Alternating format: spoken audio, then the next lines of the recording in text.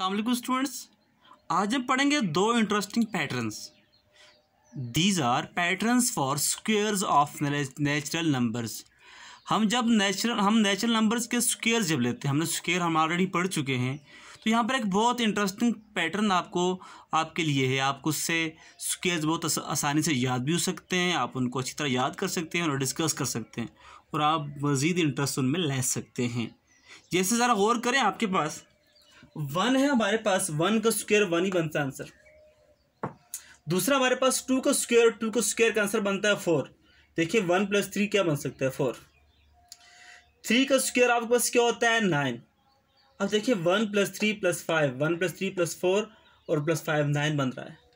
इसी तरह देखिए फोर का स्क्वेयर क्या बनता है? सिक्सटीन अब one plus three four plus five nine और नाइन प्लस सेवन सिक्सटीन बन रहा है. और यही पैटर्न नीचे फॉलो हो रहा है। ज़रा गौर करें।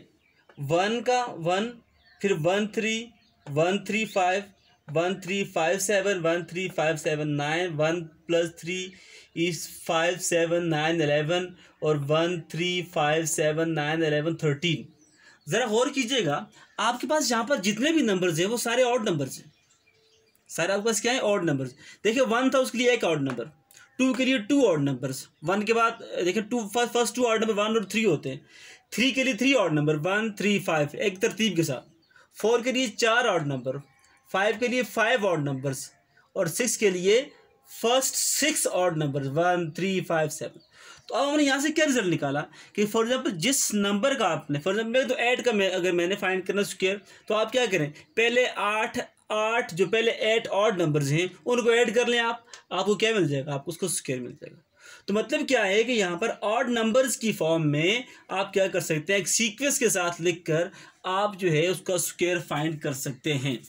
ये तो हमारे पास था फ़र्स्ट पैटर्न सेकंड पैटर्न को देखते हैं ज़रा, इसकी स्ट्रक्चर देखें।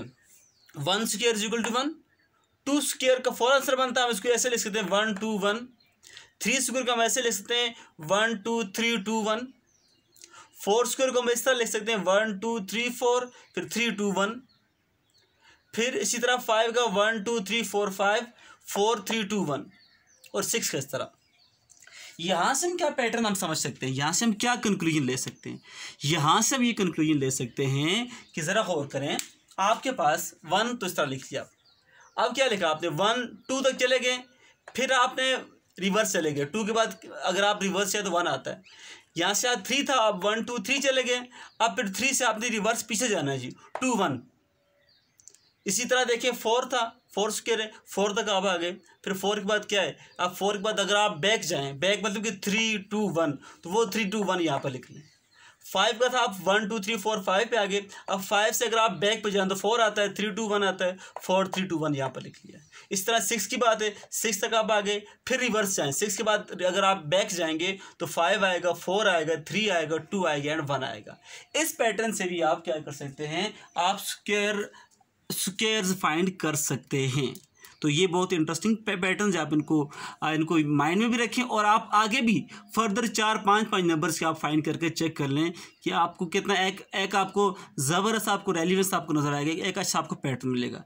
मिलते हैं नेक्स्ट वीडियो में, तब तक के लिए अल्लाह हाफिज़।